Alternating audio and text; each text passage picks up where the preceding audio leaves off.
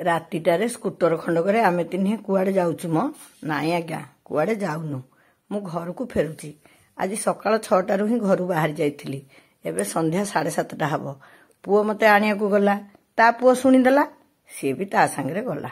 ଗୋଟାଏ ଦିନରେ ଦେଖୁନାହାନ୍ତି କେମିତି ତାଙ୍କର ଶରଧା ବୋହି ପଡୁଛି ମୁଁ ଚିଡ଼ିଲି ତୁ କାହିଁ ତାକୁ ଆଣୁଥିଲୁ? ସେ କହିଲା ସେ ପୁରା ଜିଦ୍ଦି କଲା। ସେଇଥିରୁ ଟିକେ ନେଇ ଆସିଲି। ଯାହା ବି ହଉ ତାକୁ ଦେଖି ମୋତେ ଭାରି ଖୁସି ଲାଗିଲା। ବାଟରେ ବାହାଘର ହଉଥିଲା। ମୁଁ ତାକୁ ଦେଖଉଥିଲି। ଆଉ ସକାଳ କଥା କହୁଥିଲି। ସକାଳୁ ଆମେ ସାନ ପୁଅ ସାଙ୍ଗେ ବାହାରି ଯାଇଥିଲୁ। ମୋର ଜଣେ ବଡ଼ ଭଉଣୀ ପ୍ରତିମ ବାସନ୍ତୀ ମହାନ୍ତି ଯିଏକି ଜଣେ ସୁସାହିତ୍ୟିକା ତାଙ୍କ ସହିତ ଆମେ ଅନୁଗୁଳ ଯିବାର କଥାବାର୍ତ୍ତା ପୂର୍ବ ଦିନରୁ ହେଇଥିଲା। ତାଙ୍କ ଘରେ ମୋର ସାଢ଼େ ଛଅଟାରେ ପହଞ୍ଚିବାର ଥିଲା। ତେଣୁ ମୁଁ ସାନ ପୁଅ ସାଙ୍ଗେ ଯାଇ ତାଙ୍କ ଘରେ ପହଞ୍ଚିଗଲି। ଏ ଦେଖୁନାହାନ୍ତି ତାଙ୍କ ଆପାର୍ଟମେଣ୍ଟ ଆମେ ଗଲୁ ଭିତରକୁ। ମତେ ମୋ ପୁଅ କହୁଥିଲା ଗେଟ୍ ପାଖେ ଛାଡ଼ିଦେବି। କିଲୋ ବୋଉ ମୁଁ କହିଲି ନାଇଁ ରେ ଧନ ମତେ ତ ଏ ସିଷ୍ଟମ ସବୁ ଭାରି ଭୟ। ମତେ ଏକୁଟିଆ ଲିଫ୍ଟରେ ଗଲେ ବି ଡର ଲାଗେ। ତେଣୁ ପୁଅ ହିଁ ନେଇ ତାଙ୍କ ଘରେ ଛାଡ଼ିଦେଲା। ଆମେ ଦୁହେଁ ସେଇ ତାଙ୍କ ଦାଣ୍ଡ ଘରେ ବସିଥିଲୁ। ମୁଁ ତାଙ୍କ ଘରର ଦୃଶ୍ୟ ଦେଖି ଭାବୁଥିଲି ସତରେ କେତେ ସମ୍ମାନରେ ସେ ସମ୍ମାନିତା ହୋଇଛନ୍ତି। ତାପରେ ଗୋଟେ ବହି କଥା କହିଲି। ସେ କହିଲେ ହଁ ହଁ ମୋର ସେ ବହିଟା ଅଛି।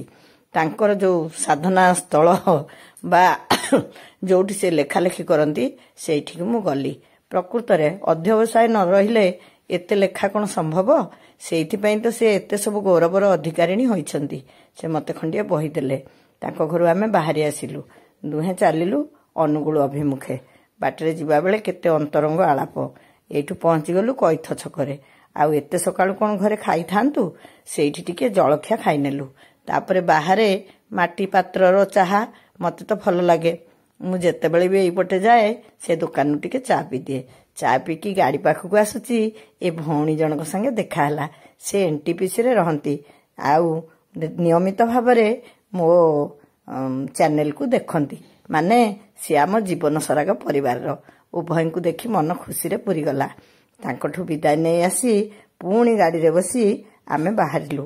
ଆଜି ଦେଖିଲେ କେଡ଼େ ଗୌରବର ଦିନ। ଏ ଫଟୋଟିକି ଦେଖିପାରୁଛନ୍ତି? ଇଏ ଆମ ସମସ୍ତଙ୍କ ପ୍ରିୟ ତିନୁଅପା ଅରଫ କୃଷ୍ଣା ମହାନ୍ତି ଯିଏକି ଆଜି ସମ୍ବର୍ଦ୍ଧିତ ହେଉଛନ୍ତି ରାଷ୍ଟ୍ରୀୟ ଗାନ୍ଧୀ ପୁରସ୍କାରରେ। ସିଏ ତ ସବୁବେଳେ ସବୁ ମିଟିଂରେ ତଳେ ବସି ପଡ଼ି ଅରଟ ଚଲେଇବା ଆରମ୍ଭ କରିଦେଇଥାନ୍ତି। ତାଙ୍କୁ ସମସ୍ତେ ଆସି ମଞ୍ଚ ଉପରକୁ ପାଛୋଟି ନେଲେ। ଦେଖୁନାହାନ୍ତି କେଡ଼େ ବଡ଼ ଓଢ଼ଣୀ ତାଙ୍କର। ମୁଁ ତାଙ୍କୁ ଥଟ୍ଟା କଲି। ମୁଁ କହିଲି ଆଜି ପାରିଲି ପୁରା ଶାଶୁମାନେ ଆଉ ଓଢ଼ଣୀ ଦେବା ଉପରେ କିଛି କହୁନାହାନ୍ତି। ଆପଣଙ୍କର ଏଡ଼େ ବଡ଼ ଓଢ଼ଣୀ କାହିଁକି? ସେ ହସିଲେ। ସବୁବେଳେ ସେ ଏମିତି ତାଙ୍କଠୁ ଏଇ ସ୍ନେହ ଟିକକ ପାଏ ଆପଣାପଣ ପାଏ। ସେଇଥିପାଇଁ କେବଳ ମୁଁ ନୁହେଁ ସାରା ଦୁନିଆ ତାଙ୍କ ପାଖକୁ ଧାଇଁଯାଏ। ଆଉ ସେଇଥିପାଇଁ ତ ତାଙ୍କୁ ଏତେ ବଡ଼ ପୁରସ୍କାର ପାଇଁ ଉପଯୁକ୍ତ ମନେ କରାଯାଇଛି ବା ତାଙ୍କୁ ପୁରସ୍କାରଟି ପ୍ରଦାନ କରାଯାଇଛି। ସତରେ ପୁରସ୍କାର ପାଇ ସେ ଧନ୍ୟ ହୋଇନାହାନ୍ତି। ତାଙ୍କୁ ପୁରସ୍କୃତ କରି ଆମେ ଗାନ୍ଧୀ ପରିବାର ଧନ୍ୟ ହୋଇଛୁ। ଏଭଳି ଗାନ୍ଧୀ ଛୁଆ ମଣିଷଟିଏ ଆଉ କ'ଣ କେଉଁଠି ମିଳିବ? ପିଲାଦିନେ ସେ ଗାନ୍ଧୀଙ୍କ ହାତ ଧରି କିଛି ବାଟ ଯାଇଥିଲେ। ସେ ପୁଣି ସାବରମତୀ ଆଶ୍ରମ ପାଖରେ। ଦେଖୁନାହାନ୍ତି ସେଇ ଚିତ୍ରଟି କି ସୁନ୍ଦର ଭାବରେ ଚିତ୍ରିତ କରାଯାଇଛି।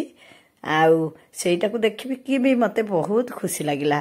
ମୁଁ ଏଠି କାହାରି ନାଁ ନେଉନି। କାହା ନାଁ ବା ନେବି? ସମସ୍ତେ ତ ଆପଣାର ସମସ୍ତେ ଗାନ୍ଧୀଙ୍କ ପରିବାରଭୁକ୍ତ। ବା ଗାନ୍ଧୀ ଜନ ବା ଗାନ୍ଧୀ ବିଶ୍ୱାସ ବିଚାରରେ ବିଶ୍ୱାସ କରୁଥିବା ମଣିଷ। ଆମେ ସମସ୍ତେ ଏକତ୍ରିତ ହୋଇ ଏଇ ଗୌରବ ମୁହୂର୍ତ୍ତଟିକୁ ଉପଭୋଗ କଲୁ। ମିଟିଂରେ ଝାନ୍ସୀ ସାଙ୍ଗେ ଦେଖା ହେଲା।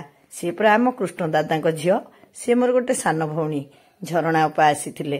ଆହୁରି କେତେ କିଏ? ସମସ୍ତଙ୍କୁ କ'ଣ ମୁଁ ଚିହ୍ନି ପାରିବି ହେରେ ଖୁସି ଲାଗୁଥିଲା।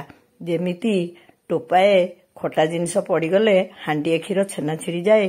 ଆମେ ଏତିକି ମଣିଷ ବି ଯଦି ଗାନ୍ଧୀଙ୍କ ବାର୍ତ୍ତାକୁ ଦୁନିଆରେ ବାଣ୍ଟିବାକୁ ଚାହିଁବା ତାହେଲେ କ'ଣ ଆମେ ସଫଳ ହୋଇପାରିବାନି? ମୁଁ ସେଇ କଥା ହିଁ ଭାବୁଥିଲି। ଆଉ ଅନିମା ଅପା ବି ଯାଇଥିଲା। ସେପଟେ ପ୍ରୀତୁ ବି ବସିଥିଲା। ହେଲେ ମିଟିଂରେ ବସି କ'ଣ ଆମେ ଗପିଥାନ୍ତୁ ନା କ'ଣ? ଆମେ ସବୁ କଥା ଶୁଣୁଥିଲୁ।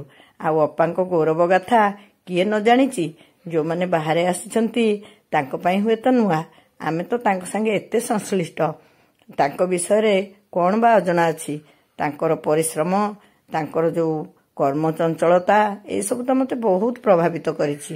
ଛୟାଅଶୀ ବର୍ଷ ବୟସରେ ସେ ଦୁନିଆ ପାଇଁ ଯାହା କରୁଛନ୍ତି ତାହା କ'ଣ ସମସ୍ତଙ୍କ ଦ୍ୱାରା ସମ୍ଭବ? ଦେଖୁନାହାନ୍ତି ଉପରକୁ ଯାଇ ପୁଣି ସେ ଅରଟ କାମ ଚାଲିଛି। ସବୁ ମିଟିଂରେ ସେ ଏମିତି ନିରବରେ ବସି ଅରଟରେ ସୂତା କାଟନ୍ତି ଆଉ ସମସ୍ତଙ୍କ କଥା ଶୁଣନ୍ତି। ନିଜେ ବହୁତ କିଛି କହିବା ପାଇଁ ଭଲ ପାଆନ୍ତିନି। ଲିପି ଦିଦି ଆଉ ପାପାଲି ମାମାଲି ତ ସବୁବେଳେ କାର୍ଯ୍ୟକ୍ରମରେ ଗୀତ ଗାଇବା ଦାୟିତ୍ୱରେ ଥାନ୍ତି ସେ ସୁନ୍ଦର ଗୀତଟିଏ ଗାଇଥିଲେ। କାର୍ଯ୍ୟକ୍ରମ ଆରମ୍ଭ ହୋଇଥିଲା। ଆଉ ଅପାଙ୍କର ସମ୍ବର୍ଦ୍ଧନା କାର୍ଯ୍ୟକ୍ରମ ପରେ ବିଭିନ୍ନ ବିଷୟରେ ଆଲୋଚନା ଆଉ ବହୁ ବିଜ୍ଞ ବ୍ୟକ୍ତି ନିଜ ନିଜର ମତ ବ୍ୟକ୍ତ କରିଥିଲେ। ସମୟ ତ ସବୁବେଳେ ସ୍ୱଳ୍ପ। ଏସବୁ ମନୋଭାବ ବ୍ୟକ୍ତ କରିବା ପାଇଁ କେତେବେଳେ କ'ଣ ସମୟ ଅଧିକା ହୁଏ ଯାହା ବି ହଉ ଅଳ୍ପେ ସ୍ୱଳ୍ପେ ଖୁବ୍ ସୁନ୍ଦର ଭାବରେ ସଭା କାର୍ଯ୍ୟ ସମାପନ ହେଲା। ଏ ଗୌରବ ମୁହୂର୍ତ୍ତରେ ଆମେ ସମସ୍ତେ ଯାଇ ଅପାଙ୍କ ସାଙ୍ଗେ ଫଟୋ ଉଠେଇଲୁ। ଆଉ ଝରଣା ଅପାଙ୍କୁ ମୁଁ କହିଲି ଅପା ଆମ ଘରକୁ ଥରେ ଆସନ୍ତୁ। ବାଲେଶ୍ୱର ତ ଦୂର ହେଇଯାଉଛି। ମୁଁ ଟିକେ ଯାଇପାରୁନାହିଁ। ସଭା ଶେଷରେ ଅପା ଖାଇ ବସିଥିଲେ। ଆମେ ସବୁ ଖାଇସାରିଥିଲୁ ଅପାଙ୍କ ପାଖକୁ ଯାଇ ବିଦାୟ ନେଲୁ। ଆରେ ଏପର୍ଯ୍ୟନ୍ତ ପୁରା ଆମେ ନୁମା ବାପିଙ୍କ କୁଟୀରକୁ ଯାଇନଥିଲୁ। ଫେରିଲା ବେଳେ ସେଠିକି ଟିକେ ଯାଇ ଫଟୋ ଉଠେଇଲୁ। ଆଉ ସେତିକି ବେଳେ ପୁଣି ମନେ ପଡ଼ୁଥିଲା ଝରଣା ବାପାଙ୍କ କଥା ତିନୁ ଅପାଙ୍କ କଥା। ବାଟରେ ନରାଜ ପଡ଼ିଲା। ନରାଜରେ ଆମେ ଚା ପିଇଲୁ ନରାଜର ଦୃଶ୍ୟ ଦେଖିଲୁ। ଆରେ ଭୁଲିଗଲି। ମୁଁ ପୁରା ଦୁଇ ଜଣ ଶିକ୍ଷକ ଶିକ୍ଷୟିତ୍ରୀଙ୍କ ସହିତ ବି ଭେଟ ହେଲି। ସେମାନେ ଜୀବନ ବିଦ୍ୟାଳୟରେ ଅଛନ୍ତି। ତେଣୁ ତାଙ୍କ ସହିତ ମୁଁ ଯୋଗାଯୋଗ ନିଶ୍ଚୟ ରଖିବି। ଆଉ ଅନୁଗୁଳରେ କ'ଣ ସବୁ ଆମ ଜୀବନ ସରାଗ ଉପଯୋଗୀ କାର୍ଯ୍ୟକ୍ରମ ଚାଲିଛି ଯାହାକୁ କି ମୁଁ ଜୀବନ ସରାଗରେ ବାଣ୍ଟି ପାରିବି ସେ ବିଷୟରେ ନିଶ୍ଚୟ ପରାମର୍ଶ କରିବି।